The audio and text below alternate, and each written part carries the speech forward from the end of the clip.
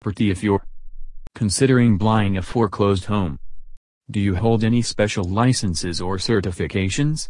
Property inspectors usually have a background in some related field, such as construction, engineering, architecture, electricity, plumbing, or insurance claim.